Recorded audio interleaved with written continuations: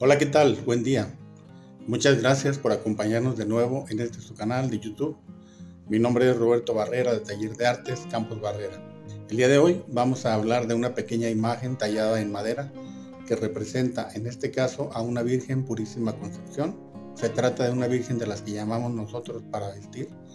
Está tallada en madera de colorín, mide un poco más de 50 centímetros y en este caso pertenece a un particular, así que no es una imagen de una iglesia, sin embargo se trata de una muy buena escultura y pues esperamos que en este caso les guste el video y el trabajo que realizamos sobre esta imagen.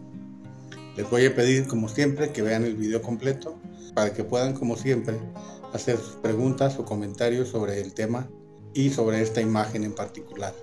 También recuerden que pueden hacer comentarios y preguntas sobre otras imágenes de las cuales pues hayan visto el video en este nuestro canal. Pero por el momento pues nos vamos a referir a esta imagen y para eso pues vamos a ver las fotografías que tenemos sobre este trabajo. Así que sin más pues vamos a comenzar. Y bien, pues vamos a comenzar como siempre haciendo una revisión completa de la obra y vemos entonces que la imagen aparentemente está repintada en su totalidad. Vemos también que presenta una peluca pegada al cráneo, la cual ya está bastante vieja y enredada. Vemos también que su brazo derecho se encuentra desprendido debido a que no tiene el perno que lo hace girar en su hombro. Vemos también que a la manera tradicional la imagen posa sobre un mundo y a los pies de la imagen una serpiente que representa al demonio y que también es algo característico de la imagen Purísima Concepción. También vemos que hay tres caritas de querubines, de las cuales una presenta bastantes daños que afectan principalmente su ala derecha. Hemos empezado ya a retirar los repintes y podemos ver un encarnado mucho más agradable principalmente en el rostro.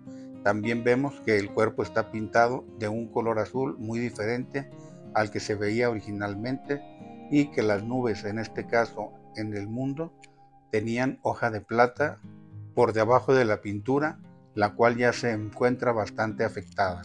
Procedemos ahora con la reintegración cromática, iniciando como siempre en los encarnados y podemos ver en este caso que la imagen ya está completamente terminada es decir, que se ha hecho la reintegración cromática total de la obra.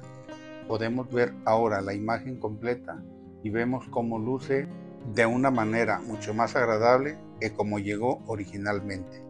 Ahora vemos un acercamiento del rostro y podemos ver que se ha hecho la reintegración cromática respetando todo lo que se encontró después de relimpiar el color de su rostro.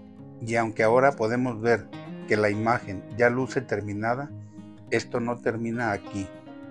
Pues como les dije también al principio del video, para esta imagen nos fue encargado también la elaboración de un vestido, el cual veremos a continuación ya armado sobre la imagen.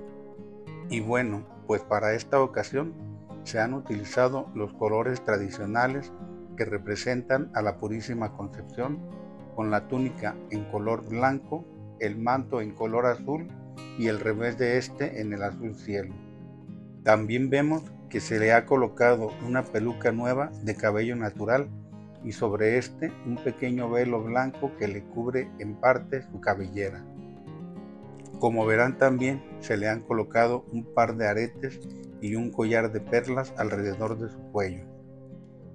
Y también, aunque no lo vimos al principio, un aro alrededor de su cabeza con las 12 tradicionales estrellas que también son características de esta imagen.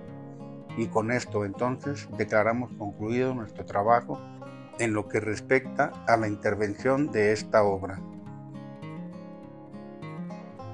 Bien, pues así terminamos el video del día de hoy y pues pudieron ver que se trata en este caso de una imagen muy bonita y que además también ahora nos tocó verla cómo quedó la imagen ya vestida, ya que también en el proceso de esta imagen también nos encargaron que si podíamos hacer también el trabajo de la vestimenta. Así que bueno, ahora nos tocó ver una imagen para vestir y nos tocó verla ya vestida y con algunos accesorios. Espero pues como siempre que les haya gustado el video, la persona que nos encargó el trabajo quedó muy satisfecha Espero que a ustedes también les haya gustado el trabajo. Y si les gustó, pues como siempre les pido que lo compartan para que cada vez más personas conozcan nuestro trabajo. También les pido que le den like, que si no se han suscrito, se suscriban al canal y que toquen la campanita para que puedan recibir las notificaciones de los videos nuevos que estamos subiendo día con día. Y pues con esto terminamos y me despido como siempre de ustedes deseándoles que tengan un muy bonito día. Nos veremos entonces si Dios quiere y si ustedes nos acompañan en el próximo video. Hasta pronto, que estén bien.